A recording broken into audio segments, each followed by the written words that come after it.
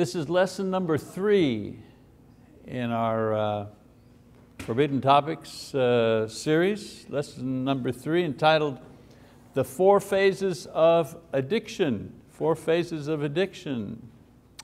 And it's the first part of uh, kind of a sub-series that's within uh, this larger series here. So in the next three sessions, as the title suggests, we're going to be talking about addictions in general. And in the first three, uh, first of these rather, I, I want to examine addictions uh, from a physical and a psychological uh, perspective. I'm neither a doctor or psychologist, but in order to understand addictions, uh, you have to um, take a look at it from a medical and from a psychological perspective. We certainly will enter uh, into a discussion about uh, what the Bible says about this and so on and so forth. But for tonight, we're going to look at what addictions are, how we become addicted, and the effects of addiction once they take hold.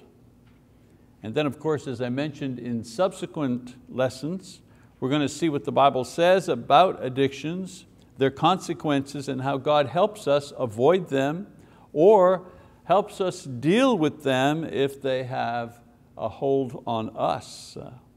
Hopefully uh, these lessons will give us both insight and warning about the power that various substances have to control and destroy our lives. And even if we ourselves, you know, I say, I talk to the people here in the, in the auditorium and of course the folks who are watching online, uh, we may not be dealing with addiction ourselves, but I find it you know, a pretty common thing that if I talk to anybody here, they'll say, well, myself, no, but my brother or my dad was an alcoholic or my, you know. So I think it touches all of us one way or another. Either directly we've had to struggle with addictions or we've had to help others in our family or among our friends or coworkers deal uh, with this. So I think and hope that the material that we'll be looking at will be useful uh, from all of these perspectives. In the last several years, there has been a lot of research done on the causes and the effects of various addictions on human beings. Using uh, modern MRI technology, scientists are able to see the actual reaction that the brain has when it is stimulated by various effects not just drugs, various effects like music. I remember uh, uh, reading a book entitled, This is Your Brain on Music. Fascinating, fascinating book on how music affects the brain. Or visual uh, images as well as chemicals. And of course, we're talking about perhaps illegal chemicals, illegal uh, drugs, how they affect the brain. In this type of research, scientists have identified neural circuits that are involved in the actions of every known drug of abuse and have specified common pathways that are affected by almost all substances. In other words, they affect the brain in exactly the same way. They may be different types of substances, but they have the same effect uh, on the brain. This means that all illegal drugs have a similar effect on the brain that can actually be seen in an x-ray. Okay?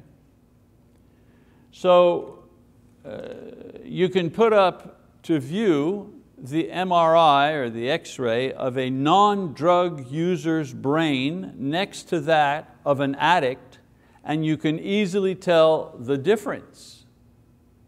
And here in this, it's actually a photograph in this slide, the brain of a non-addict and then the brain of a drug addict. And you see, or you are able to see with the, you know, the naked eye, the difference. Of course, you need a, a medical uh, expert to be able to you know, explain what's going on here. But just, you know, uh, just a simple look uh, tells you uh, that drugs or illegal substances have a very specific effect on the brain. Researchers are now able to indicate elements that are common to all addictions regardless of the substances that are used. And so this has led uh, many researchers, including Dr. Uh, Alan Leshner, who's the former director of the National Drug Institute here in the United States, uh, to declare that addiction is a brain disease. And i will unpack that idea. I know that some of you right, out, right, out, uh, right off the bat are saying, wait a minute, you know, you know, we don't believe that you know, sin is a disease. Well, no, I don't believe that either, but just give me a moment to kind of show you the connection, all right? From a biblical uh, perspective, we can accept that many things that are considered as sins, immoral sexual activity or drunkenness or pride or gluttony, can easily evolve to a point where they incapacitate the body as an illness. In other words, it starts as a sin, it eventually becomes an illness. Now the fact that it eventually becomes an illness doesn't excuse the individual from the sin part. But if you understand that it's an illness, then you can treat both the uh, physical side of the problem as well as the spiritual side of the problem. Uh, the idea uh, that you say to someone who has a serious addiction of some kind, you know, look, just pick yourself up by your bootstraps you know, and uh, snap out of it. You know. I, am going to slap that, that addiction out of you. Yeah, no, that won't work, okay? For example, the disease, the disease of AIDS. The disease of AIDS all by itself is not not a sin. But the leading method of transmitting AIDS, sex between two men, that is a sin. Romans 1 verse 27. The disease of addiction is not a sin in itself, but the abuse of alcohol or certain drugs leading to addiction, yeah, that is a sin. Uh, being delusional or depressed, that's not a sin. But an unrestrained pride and uh, uh, overestimation of our self-worth that often causes these emotional problems, yeah, that's a sin. See what I'm saying? Some things are sin at the beginning, but eventually they evolve into diseases. I say this because many Christians don't make a distinction between the cause, many times but not always, sin, and the ultimate effect, many times but not always, disease. So if someone you know, uh, goes to the minister and says, and, and, and talks to him and says, you know what, uh, I'm a drug addict. You know, here's my MRI to prove it. Here's, look at my brain. You know, I'm, I'm addicted. Now we'll talk about what real addiction is. And he confesses that to his minister and, and he says, pray for me, please. And I'm sorry that I'm, I'm addicted and all the things that I've done you know, because of my addiction and been terrible and so on and so forth.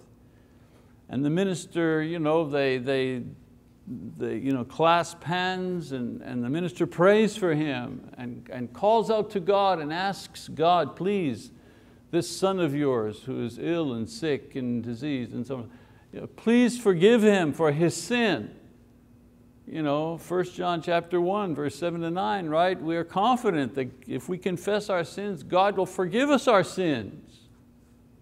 However, that same individual in the minister's office will not be cured of his disease even if he's been forgiven of his sin. Well, we have to realize that. It's not always easy to help people that are afflicted with disease. Yes, they brought it on themselves. Yes, you know, nobody uh, put a gun to their head you know, to, to take that first hit of crack or whatever. Yes, yes, yes. Uh, they're responsible. It's their fault. They shouldn't have done it. Their parents told them not to do it. Their friends told them not to do it. Even the minister who's now praying for them told them, don't do it. they went ahead and did it anyways. That's all true. That's all forgivable. But the cold hard fact is now where we're at is we have an individual who, as the doctor says, has a brain disease and needs to be treated both spiritually and physically for his disease. So we have to be very careful when we label something as sinful. In this first session, therefore, we're going to deal with addictions from a disease point of view. And then next week, we'll look at the things that lead to many of these addictions and what the Bible says about them. All right? There's just too much stuff to put in one lesson, 30 minutes, can't do it. So how we become addicted. Part of the research on addiction is charting the common elements that lead to all addictions. Here are the four phases in the progression of addiction. Phase uh, number one. Phase number one is learning the mood swing. Learning the mood swing. When it comes to addiction, learning is accomplished experimentally and not intellectually. We learn to memorize poetry, we learn that intellectually but we don't learn how to become addicted intellectually. Addiction is learned instinctively, intuitively, spontaneously, naturally. And so we become addicted to something using our instincts, our intuition, our natural feelings. And so the first phase in addiction is that we, we learn certain things. For example, we learn that certain chemicals produce euphoria. Euphoria is a feeling of some kind that changes our state of mind. It is always beyond natural feelings. That's why it's called a high. You're very, you're not just happy, you're very happy. You're very relaxed, you're very excited, you're very confident. One of the jokes uh, about uh, the use of marijuana, for example, is that the first time you take marijuana, uh, one of the first times that you take marijuana is that everything is very funny.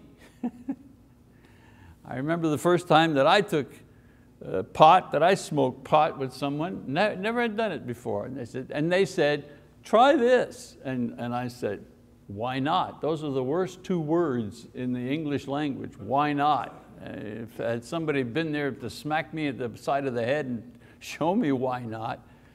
But all I remember from that first experience was laughing. Laughing so hard that my, my sides were aching. And there was nothing funny. I mean, the, it's not as if somebody told a joke. It just Everything seemed so funny. That's why it's a high. Everything is heightened. Now the feeling is real, but the problem is that it's an exaggerated reality. This is where the MRIs come in. They can track which part of the brain is being affected by the substance that a person is taking and how the brain is reacting. Uh, here's, a, uh, here's an MRI showing uh, marijuana use. All of the, uh, you know, the spots and the dots there are uh, a picture of the THC chemical, which is the active ingredient in marijuana that gives the high, the euphoria. Uh, and it demonstrates how uh, the THC is spreading to different parts of the brain, affecting speech, sensory skills, motor skills, everything was funny. And I remember you know, doing more and more of it, everything was, everything was funny and everything was like very perceptive. Oh, the blue is so blue. I never seen a blue that's that blue, you know, that type of thing, sensory. But I couldn't walk straight. so a lot of things are heightened, but a lot of things also are you know, out of whack. So we learn that the degree of euphoria is determined by the quantity of chemical that we ingest. We learn this. And so if we take too much, we get what's called a bad high. We get sick. We become you know, psychotic, afraid, delusional. If we take too little, well, there's no high, there is no euphoria. And so we begin to learn just how much is required to get us to that place that gives us the, uh, the pleasant feeling, the high, if you wish. Now, a key lesson learned in phase one is we learn to trust chemicals and their effects because they work every time. Every time I smoke up, I get off. It happens every time. It's dependable. You think that, but it's the first thing you learn. It doesn't happen the very first time you do drugs of some kind. We try a substance, but with repeated use, we eventually learn, again, intuitively, naturally, this lesson. And so this is what phase one looks like on a chart. The X in the middle is normal, the normal state. On the left is pain, on the right is euphoria. Note that the addiction occurs when we go from normal to euphoria. Normal to euphoria, I'm on the chart here. Normal to euphoria and then slowly back to normal again. Now, the meds that you take when you have legitimate pain do not become addictive if you stop taking them when the pain stops. I don't know how many people I've met who, I don't want the pain medication. They, they have these things about pain medication, you know, they, they, they, they mix pain medication with illegal uh, drugs. And they said, I don't want to take any pain medication. I'm just going to gut it out. You know, I don't know, I've got a cracked vertebrae or I've got a, a swollen knee. You know, I, you know, the doctor has prescribed take one of these every four hours you know, and uh, add some uh, heat or cold or whatever for your, for your injury. And uh, so and so, especially Christians, they're going to be heroes. Oh, so I'm not taking any of that stuff. I'm not taking any drugs at all. I'm just going to gut it out. You know? And then when they just can't take it anymore, you know, then, they'll, then they'll take the pain medicine.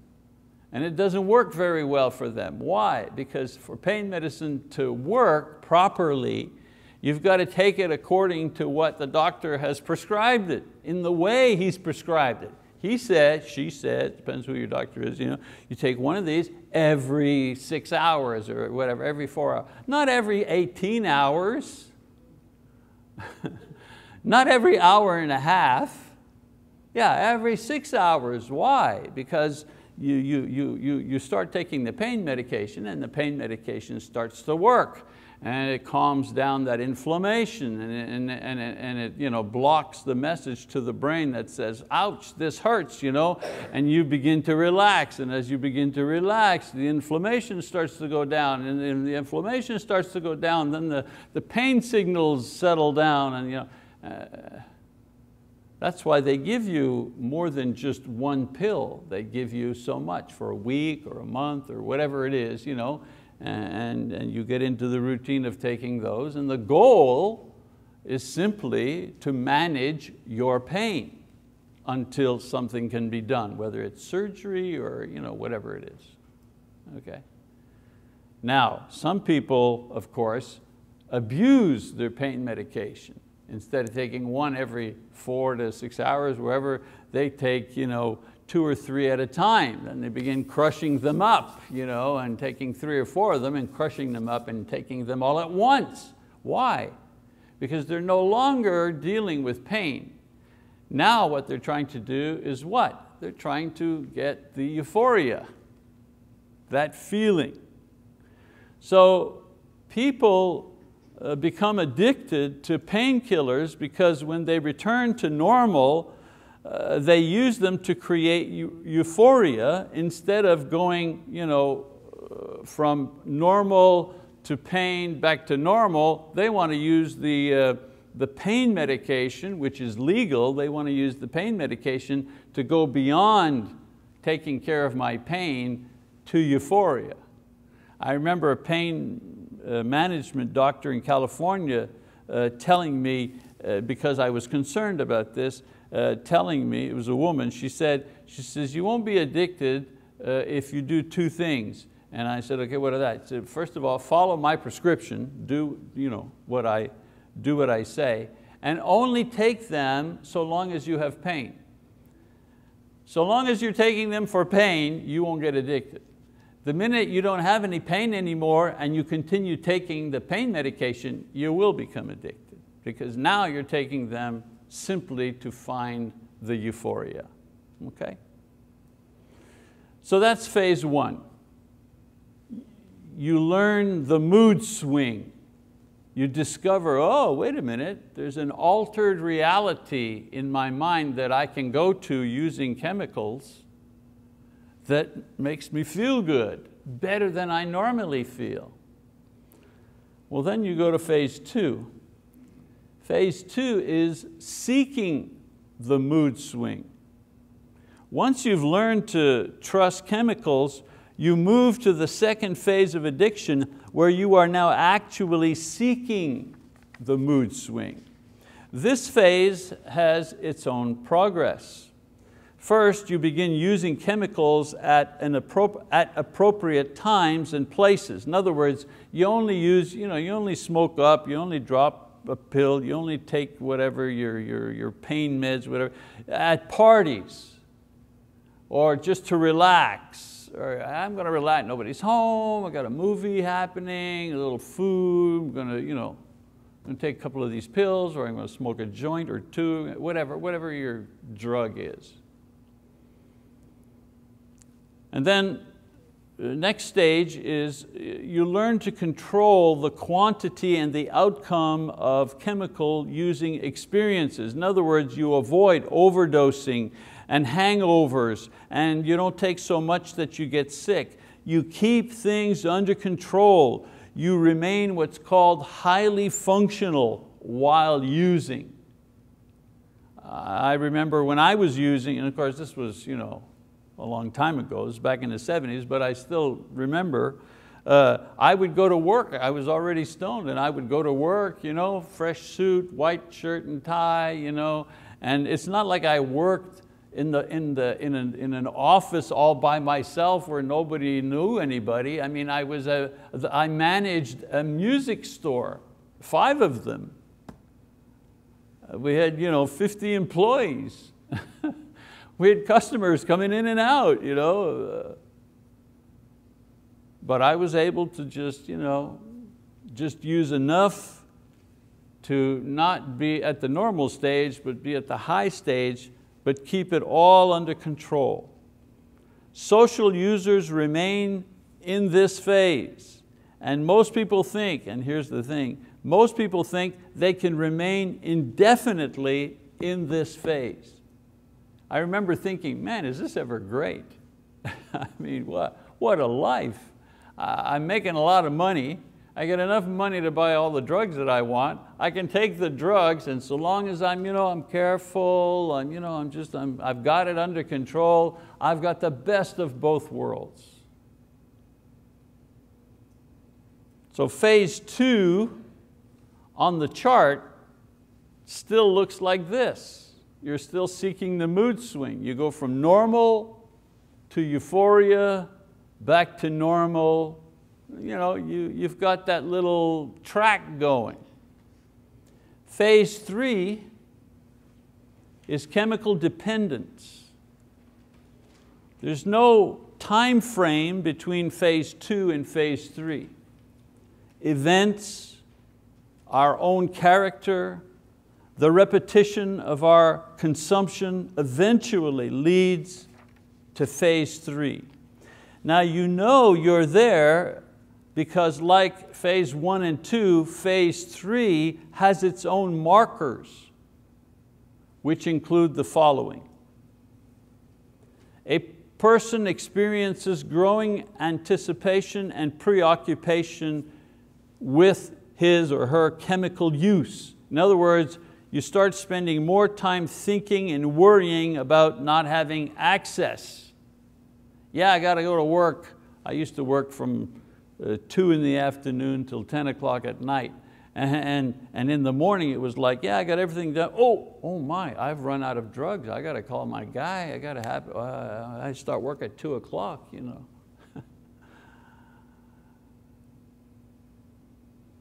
Your lifestyle begins to change and it, be, it revolves around chemical use.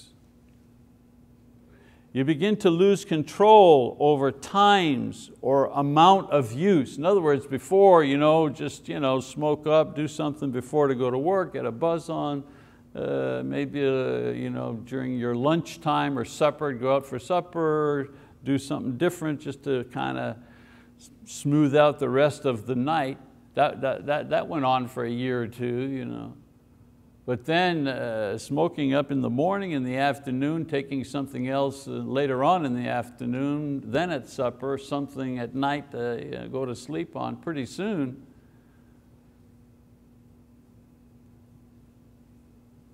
And then the usage begins to promote behavior that violates your personal value system. People steal in order to use, or they're immoral while they're using. I don't want to begin listing the things that I did, but they were things that certainly I would never do. Uh, sober-minded. Also, you adopt a user peer group that accepts this behavior. There were a couple of guys at my work who were also users, and so we were, you know, we hung out together. this kind of callous, negative feeling about self begins to grow without being identified or addressed. In other words, you don't feel good about yourself, you don't like yourself, you know, but you, you, you, you refuse to say, the reason I don't like myself, the reason that all of this is happening, the reason I look in the mirror and I'm not so you know, in love with the person that I used to see there is because I'm, I'm doing way too much drugs and it's affecting me. Uh, no, no, that can't, that can't be it. Surely that can't be it. It's got to be something else.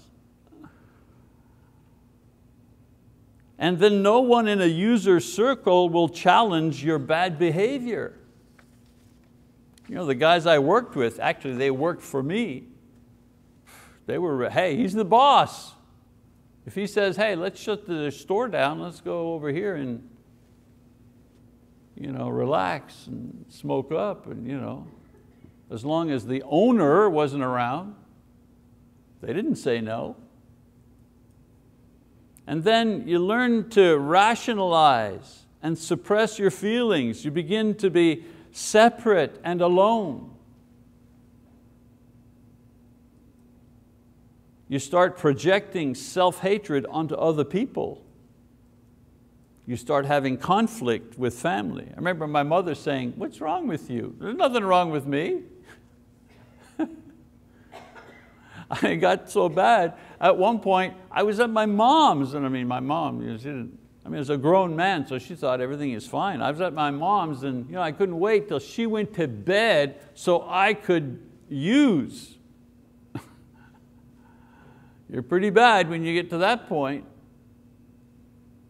So tolerance of chemicals leads to more ingenious ways to get and to use chemicals. I had a network. I use myself as an example, but it's pretty common.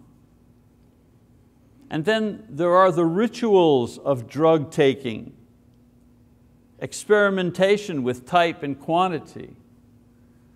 Uh, I remember I had a box, you know, a very ornate box, and inside that box, I called it my kit, and inside that box, I had all the stuff that I needed. You know, razor blades, paper, tobacco, uh, hash, uh, grass, pills, you know, whatever. And then you begin to experiment. I remember there's a thing where it's a water pipe.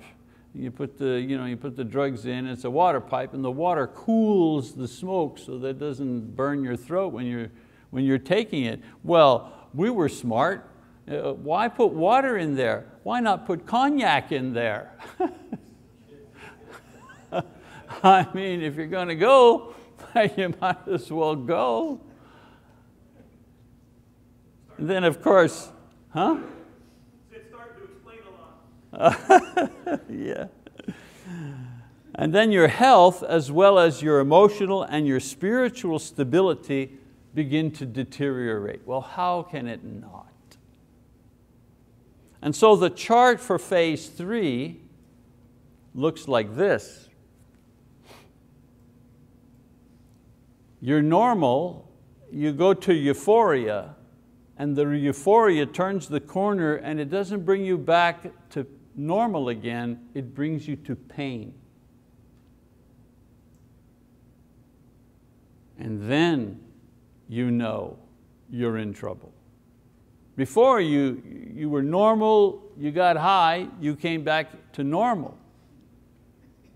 But now you're normal, sort of, you get high and then you crash and you end up in pain. And there's only one, uh, one way to get rid of that pain. And what do you think that way is? Well, to take more chemicals.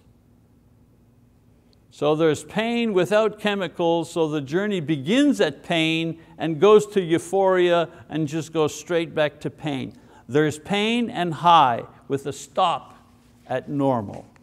This is the point when you're losing your job, you're losing your family, you're losing your friends because of your dependency. People don't want to be around you anymore. And then, remember, we, we're, not even, we're not at addiction yet. We're at dependency. Addiction People who are dependent need chemicals to function normally. Addicts need chemicals to stay alive, to be sane. Some of the markers for full-blown addiction are using chemicals simply to feel normal. Addicts cannot get to euphoria anymore they use to stop the self-induced pain caused by chemical abuse. This is different than the true and natural pain caused, for example, by a broken ankle. There's that kind of pain. I'm talking about the kind of pain from withdrawal. The addict's pain is caused by the abuse of chemicals. An addict feels pain because there's no infusion of chemicals in his system or her system. These withdrawals include nausea and sweats, blackouts, paranoia, fear, loathing of self. Users seek to escape the pain by changing location. You ever wonder why addicts move, they're, you're never in one place. They think that if they move somewhere else and start somewhere else, the pain will stop, but it, it doesn't. Loss of desire to live and complete spiritual bankruptcy. And then of course, from a spiritual perspective, fatalism, the thought that there's no way out, so, and here's, here's the ironic part, the, the, the thought that there's no way out, so I might as well continue using. What, I know that doesn't make any sense. To us, uh, hopefully everybody here is sober, but to the addict that makes, that makes sense. Now remember, uh, here, let me show you the graph. This is the graph for addiction. Notice, it's all pain. There's no normal, there's no euphoria. It's just pain. Greater or lesser degrees of pain, but it's all pain. And so according to research on the subject, addiction is the final step in a process where one learns to use various substances in order to affect the brain in altering one's perception of reality or what is, quote, normal. So activities and personality adaptations. Two of the things that happen to people who are addicted are that their personalities change as well as their activities. For example, things like